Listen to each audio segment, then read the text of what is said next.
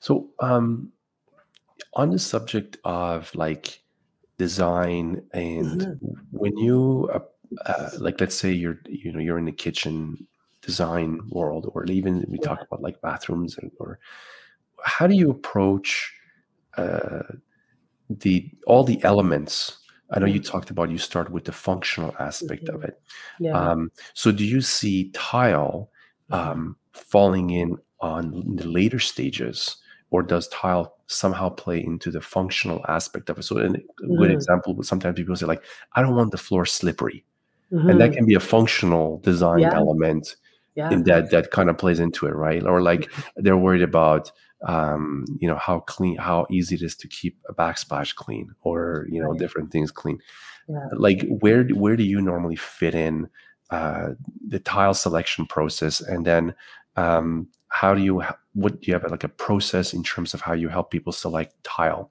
in Mhm. for their space So um, right now, I work with a company called Aya Kitchens, right? So Mhm. we are mainly a, a kitchen manufacturer, just, just to put it in perspective. okay So the the process for process for let's say the designer or the decorator Mhm. um, is they they determine needs, right? Um, and then they look at the space, um, and they don't necessarily. So let me start with the the de- designer or decorator's role. So they'll go in, talk to the client, and say, okay, what do you need? What do we want it to look like or feel like? Right. Right. They create a mood board. Um, and then from there, they start to narrow things down for the client, right? So it's the right at the get go, they start with selections, right? So then um, the those things that the client want, right? Like I don't want it to be slippery. I'm afraid of, of falling because I've got an older parent that lives with us, Yeah. that kind of thing, right?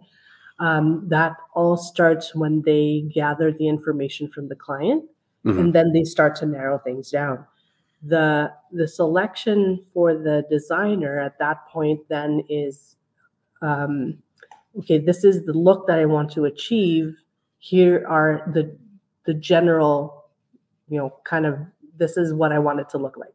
So then they come to the the they come to their suppliers now to say what do you have that will achieve this look? And where do you where do you how do you first of all come up with that general schematic of what like how, where is that coming from? Is it, is it just some picture on the internet or is it are they writing things down or you know Mhm. how, how are they giving you at least a preliminary vision of, of what they want that they they for the most part most designers or decorators start with a they have their own uh, or they should have their own um, customer questionnaire to go Right. through okay right and that that talks about uh, who uses a space that basically your five w's your who what when where why right. Right who's using the space? Uh, what spaces are we talking about?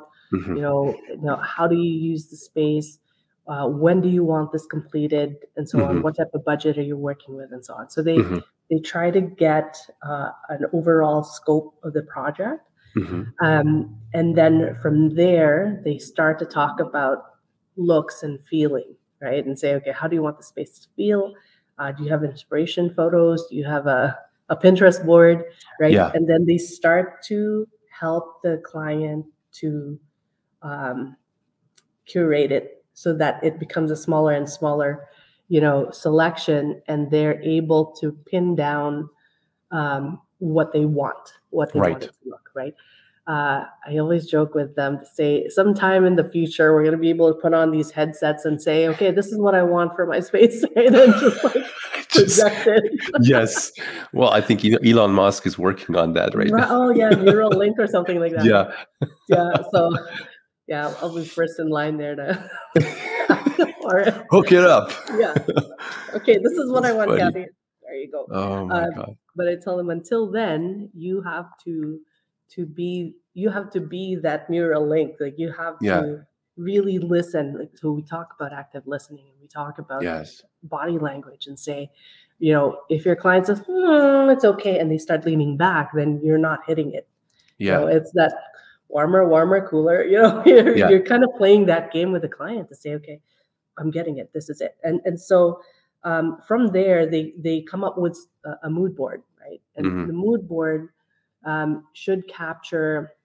Um, and I always have this dilemma with students is because you're trying to understand concept and mood and you know that kind of thing. But mood board should capture that feeling, right? That thing where they say, "I want to feel ah, like this," right? Okay, Right. how do you put Uh-huh. that on a mood board? How do you right? And so so just putting it together, and it doesn't have to be. The challenge with the mood board is that you can put if you put in uh, a photo, let's say from HGTV or or Architectural Digest, and they fall in love with that photo, and you can't achieve it, you're you're screwed. You're in trouble, right? Right.